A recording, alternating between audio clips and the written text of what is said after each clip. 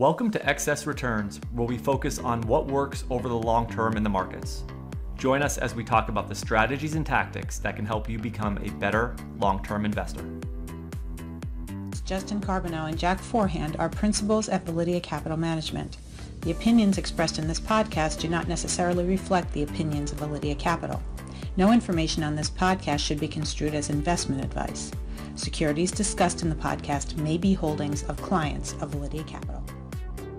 Hey guys, this is Justin. In this episode of Excess Returns, Jack and I work through another one of the models on Validea. This time we walk through the value investing method developed and outlined by Joseph Piotroski and in his paper Value Investing, the use of historical financial statement information to separate winners from losers.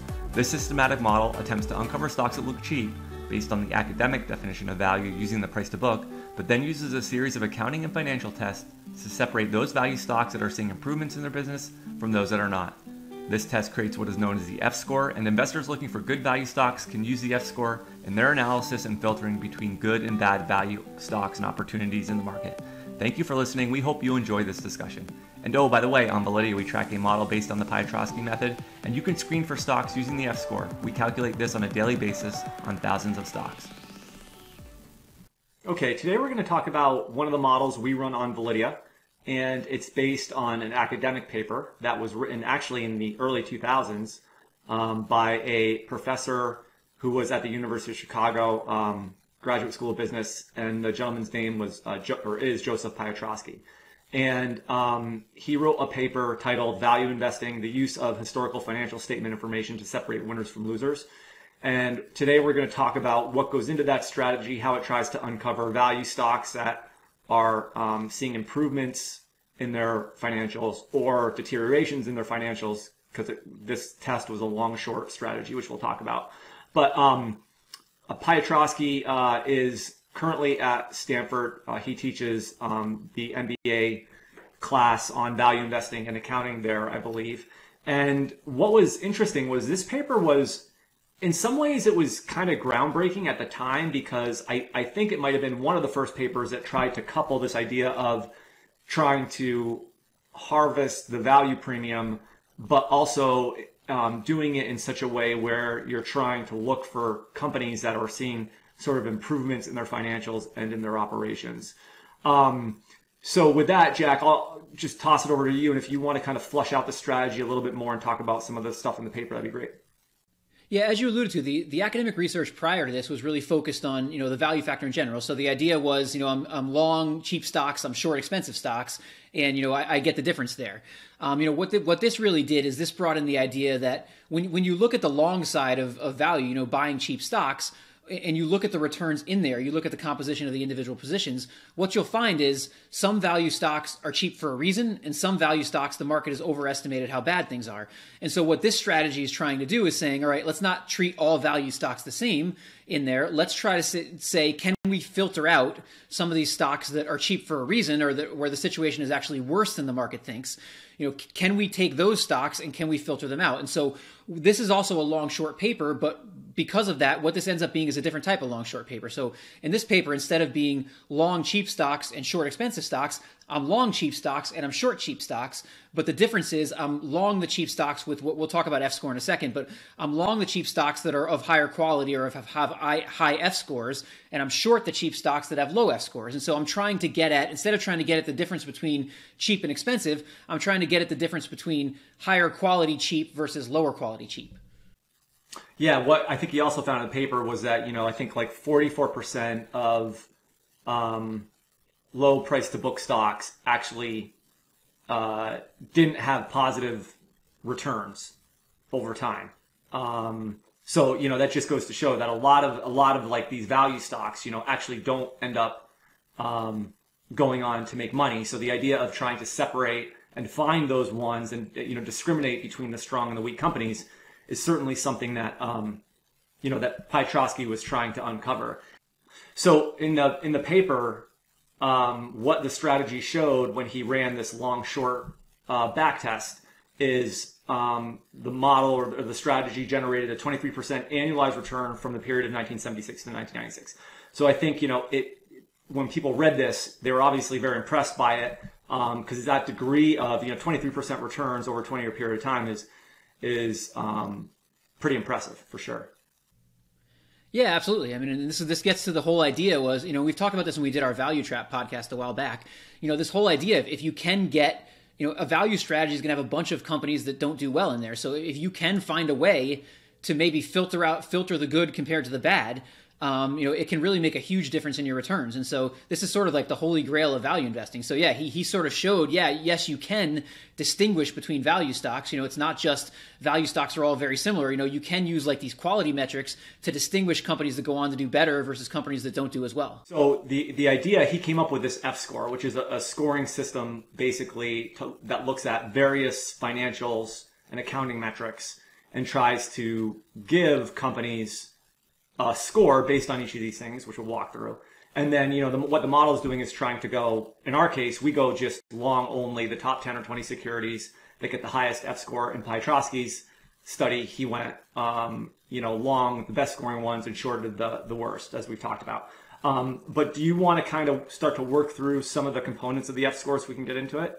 Sure. So yeah, so the F score, what it is, is just basically nine tests, um, and and they're they're in sort of three different categories, and the score ends up being zero to nine depending on how many of, of the tests a specific company um, passes, and they're sort of developed. They're in three different groups. You know, one group is profitability, one group is leverage, liquidity, and source of funds, and one group is operating efficiency. So inside of each one of those groups is, is a series of tests.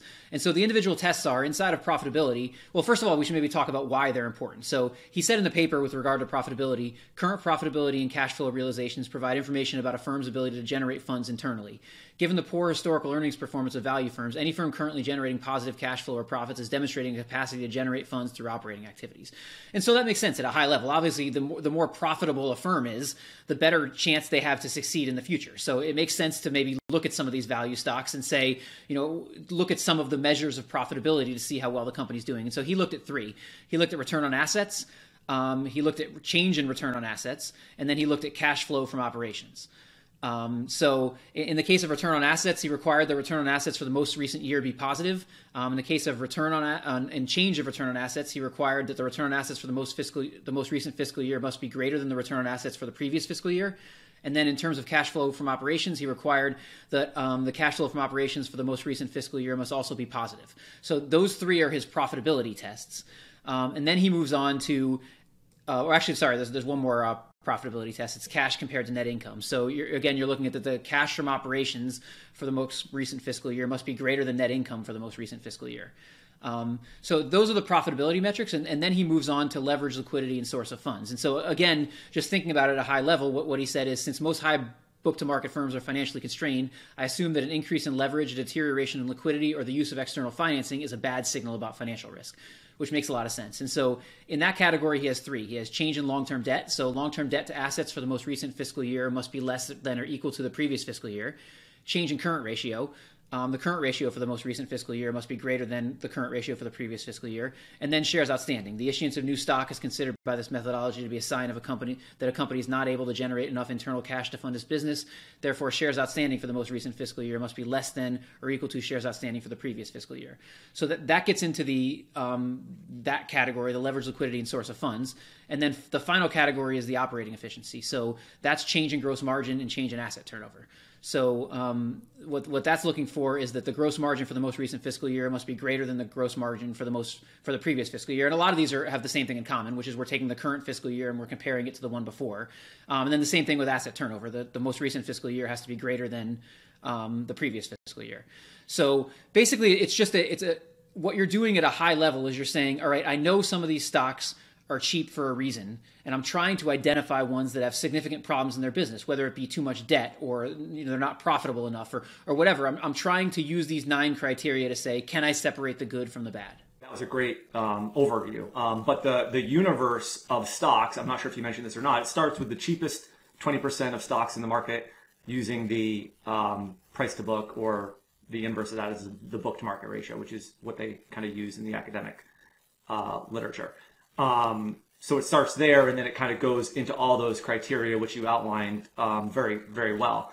Um, one of the other things that that um, comes through in the test or in his findings is that a big part of the benefit um, in terms of the return for the long side, so the so the good value stocks, is actually from small and mid caps. So that's where a lot of the alpha comes from. It's trying to find, you know, relatively small companies that are, you know, underfollowed by um, the analyst community. That was one of the things that he pointed out. And then there is this idea about this.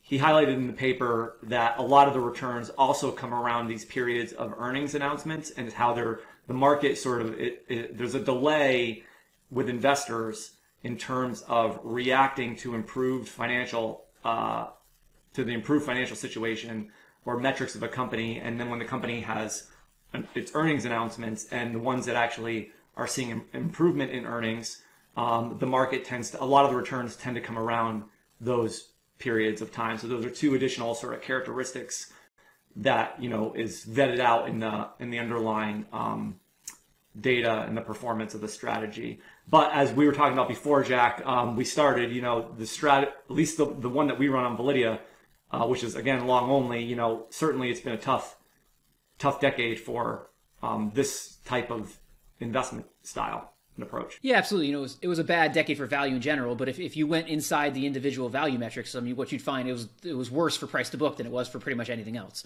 And so that that thing that I failed to mention at the beginning, which you correctly uh, added at the end, the whole idea that this takes the twenty percent cheapest stocks based on price to book, that was a major problem for this strategy because there was almost nothing. You know, putting F score aside for a second, if you were operating in that cheapest twenty percent with price to book, there was almost nothing you could have done in the past decade to have even a reasonable return because that that universe of that bottom 20% you know did so poorly that you know F score wasn't going to save you. you know, there was really nothing that was going to save you down there.